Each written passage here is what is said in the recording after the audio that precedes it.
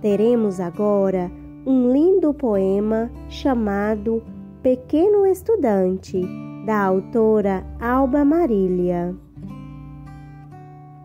Parabéns, queridos alunos, por gostarem de estudar. Vocês são como estrelas que estão sempre a brilhar. Na busca por aprender, merecem um prêmio levar. Vocês são vencedores, medalhas irão ganhar. Todo dia em sua casa, assistem às aulas com atenção a professora fica muito feliz por toda a dedicação. Letras, números, formas e cores não se cansam de aprender. Logo, logo, muitas palavras vocês irão escrever.